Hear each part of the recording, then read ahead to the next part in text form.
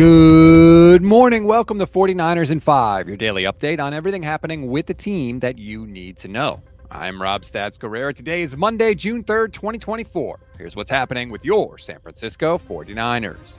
Mandatory minicamp begins this week, so we should get a little bit of clarity on a couple different situations. First, Brandon Aiyuk. We know he skipped OTAs because he wants a new contract. Will he hold out and maybe put a little bit of pressure on the Niners? Or is he going to show up and hold in, maybe as a sign of good faith that hopefully things are moving? Steelers insider Ray Fittipaldo of the Pittsburgh Post Gazette continues to push this idea that either Brandon Aiyuk or Deebo Samuel is going to be traded to the Pittsburgh Steelers before the season begins.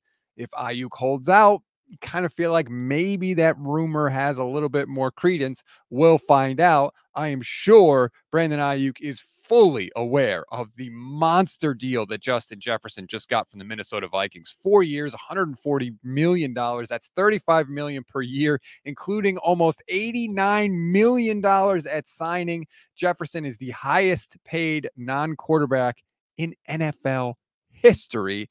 Incredible deal. Now Aiyuk's not going to get that, but I'm sure he is aware of that contract. The other situation we need clarity on is Christian McCaffrey. He also skipped OTAs. Some people said it was just because of the wedding. Some people, including Tim Kawakami, have wondered if McCaffrey wants more money in his deal guaranteed. He certainly earned it, of course. We all know that. But I would like to get a little bit of clarity with CMC. You would think he is going to be there. We are going to hear from members of the 49ers this week. Maybe he'll be behind a microphone and we can just flat out ask him, hey, what's going on. Kyle Shanahan is also going to speak. So there'll be plenty of news coming out of 49ers headquarters this week. We always give you one thing to read, one thing to watch, and one thing you might have missed. One thing to read on this Monday ESPN Analytics released their predictions for the 2024 season. Depending on your point of view, they are either really good or really bad for the 49ers. If you want to find out why, click the link in the description of this episode.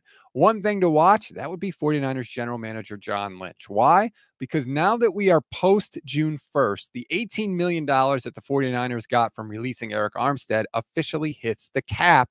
That leaves the team with around $25 million in cap room. Now, of course, they could roll that over to 2025 but there are some free agents that are still out there that could interest the 49ers. Say, for instance, safety Justin Simmons.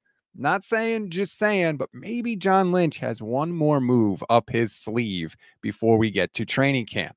One thing you may have missed. Remember when Willie Snead said that the 49ers are afraid to let people compete for roster spots and he wants to go back to the AFC North? Well, Deommodore Lenoir obviously heard that and responded on an Instagram live. He said, quote, I hope they bring him back so I can strap him up. He's just hurt right now. He's in his feelings. What did he say? I want to go back to the AFC North. Come on, man. You're not going to do that. They know how he is. They know how physical he is in practice. The more Deommodore Lenoir speaks and plays, the more I like him. That's a wrap on today's 49ers and 5. Please rate, review, and follow the Gold Standard Podcast Network. Like and subscribe to our YouTube channel. Click the bell to get notified every single time we go live, which is every single weekday for you. I will be live with Vish Kumaran today. We're going to do it a little bit later than normal because Vish had some work stuff. So it's going to be 1:30 p.m. Pacific time we will be live. We'll talk about the Justin Jefferson deal, how it relates to Brandon Aiyuk, and what we expect at mandatory minicamp this week. Enjoy your Monday, everybody. I'm Rob Stats Guerrera. We'll talk later today.